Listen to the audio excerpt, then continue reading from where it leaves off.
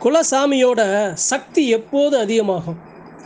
நாம் வணங்குற நம்மளுடைய குலதெய்வங்களின் திரு உருவங்கள் இருக்குல்ல கற்சிலையாக இருக்கலாம் அல்லது ஒரு கூடையாக இருக்கலாம் அல்லது பட்டாக இருக்கலாம் இல்லைன்னா ஒரு ஆபரணங்களாக இருக்கலாம் இல்லைன்னா ஒரு ஆயுதங்களாக இருக்கலாம். இது போன்று இருக்கும் எல்லா தெய்வங்கள் எப்படி உருவேற்றம் ஆகிறது அப்படிங்கிற நான் அறிஞ்ச ஒரு சில பதிவுகளை நண்பர்கள்ட்ட பகிர்ந்து கொள்ள ஆசைப்பட்றேன். ஒரு திருவுருவ சிலையோ அல்லது ஒரு ஆயுதங்களோ நம்ம அடித்தோம்னா அதை உருவேற்றம் செய்யணும்னு சொல்லுவாங்க. அப்படி எப்படியெல்லாம் உருவேற்றம் பண்ணுறாங்க அப்படின்னு நான் இன்று அறிஞ்ச அதே சமயம் அந்த ஒரு பதிவை எல்லா அன்பர்கள்ட்டையும் பகிர்ந்து கொள்ள ஆசைப்பட்றேன். எங்கள் குலசாமிக்கு நாங்கள் திருவுருவ சிலை செய்யணும்னு அன்பர்கள்ட்ட இதுக்கு முன்னாடி பதிவில் நான் சொல்லியிருந்தேன். அப்போ நாங்கள் அந்த திருவுருவ சிலை செஞ்சால் அந்த திருவுருவ சிலையை நாங்கள் உருவேற்றம் செய்யணும்ல. அப்போ அந்த திருவுருவ திருவுருவ சிலை எப்படியெல்லாம் சக்தி பெறும் அப்படின்னு நான் அந்த அறிஞ்சுக்கிட்ட விஷயங்களை அன்பர்கள்ட்ட பகிர்ந்து கொள்ள ஆசைப்பட்றேன். முதல்ல எல்லா பங்காளிகளும் நம்ம தெய்வத்துக்கு திருவுருவ சிலை செய்ய போகிறோம் அப்படின்னா எல்லாரோட பங்காளிகளோட பங்கீடு கண்டிப்பாக அவசியம் இருக்கணும்.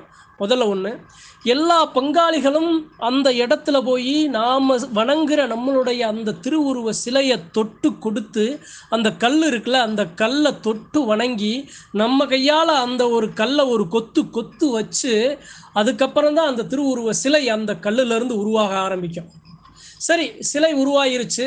சிலை அழகாக அந்த கல் சிற்பி அந்த கற்சிலையை நம்மளுடைய குலதெய்வத்தோட சிலையை அழகாக வடிவமைச்சிட்டாங்க. அதுக்கப்புறம் என்ன பண்ணணும் அப்படின்னா உருவேற்றம். நம்மளுடைய சாமியோட சக்தியை உருவேற்றம் செய்யணும். உருவேற்றம் செய்கிறதுக்கு பெரும்பாலும் தேவையானது என்ன அப்படின்னா நீர் நெல் தர்ப்பை புல் அதாவதுங்க நாற்பத்தெட்டு நாள் பதினாறு நாள் நீரிலையும் பதினாறு நாள் நெல்லுலையும் பதினாறு நாள் தர்ப்ப புல்லுலையும் அந்த கற்சிலைகளை அந்த நிரப்பி அந்த நெல்லாலையும் தண்ணீராலையும் தர்ப்ப புல்லாலையும் அந்த கற்சிலையை நிரப்பி அங்கே உருவேற்றம் நடக்கும்.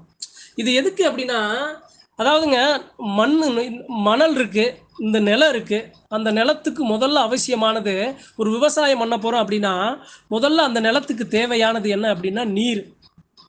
சரி அந்த நீர் விட்டதுக்கு அப்புறம் அதில் அந்த நெல்லை நம்ம தூவுறோம். அந்த நெல்லை தூவுனதுக்கப்புறம் அந்த நெல்லிலிருந்து அந்த அந்த நெல் கதிர் அந்த தற்பை புல்லானது அந்த புல்லாக அந்த நெல் கதிர் வந்து அந்த இடத்துல விளைஞ்சு வருது. அப்போ அது உயிரோட்டம் பெற்று அந்த நெல் கதிர்லருந்து நமக்கு கிடைக்கிற அந்த தானியங்கள் தான் உயிர் வாழ நம்மளை காத்து நம்மளுடைய உணவாக நமக்கு அனுதினமும் பயன்படுது.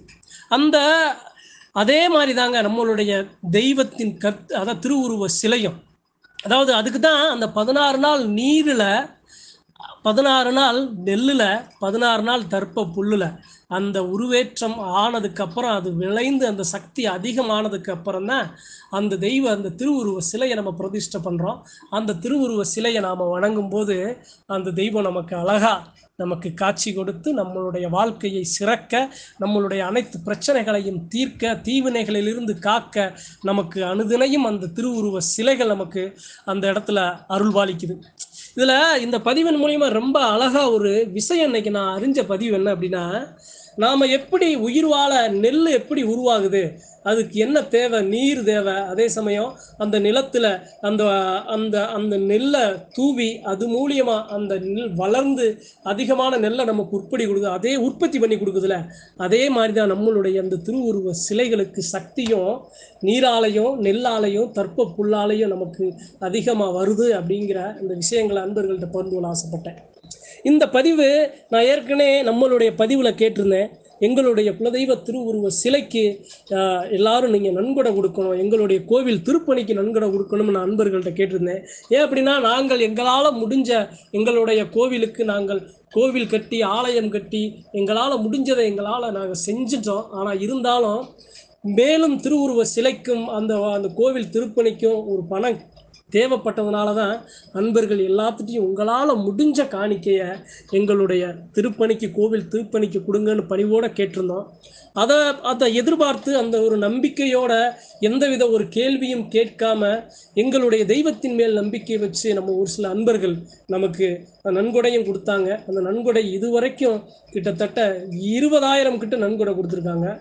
மேலும் இந்த பதிவின் மூலியமாக இதுபோன்று நன்கொடை கொடுக்காத அல்லது கொடுக்க விரும்பும் நண்பர்கள் கீழே இருக்கும் இந்த நண்பருக்கு உங்களால் உங்களால் முடிஞ்ச காணிக்க எங்களுடைய குலதெய்வ திருவுருவ சிலைக்கும் எங்களுடைய குலதெய்வ கோவில் திருப்பணிக்கும் நீங்கள் கொடுத்து உதவணும்னு பணிவோடு கேட்டுக்கிறோம். ஏற்கனவே நான் சொன்ன மாதிரி மலையளவு சாம் மலையளவு சாமிக்கு கடுகளவு சாம்பிராணி தான். இருந்தாலும் அந்த கடுகளவு சாம்பிராணி ரொம்ப காலமாக எங்களுடைய குலதெய்வ எல்லைக்கு கொடுத்துட்டோம். கொஞ்சம் கடுகளவை விட கொஞ்சம் சேர்த்து திருவுருவ சிலையாக வணங்க அதே சமயம் அந்த தெய்வ சக்தியை வளப்படுத்த மேம்படுத்த எங்களால் ஆன முயற்சியை தான் நாங்கள் இதில் ஈடுபட்டதுனால அன்பர்கள் எல்லாரும் எவ்வளவோ அன்பர்கள் இருக்கீங்க. வசதியாக வசதி வாய்ந்த அன்பர்கள் இருக்கீங்க. எல்லாத்துட்டையும் உங்கள்கிட்ட நன்கொடை மறுபடியும் மீண்டும் காணிக்க கேட்குறேன். உங்களால் முடிஞ்ச உதவி செய்து எங்களுடைய குலதெய்வ கோவில் வளர்ச்சி பணிக்கு உதவும்படி பணிவன்புடன் கேட்டுக்கொள்கிறேன். நன்றி வணக்கம்.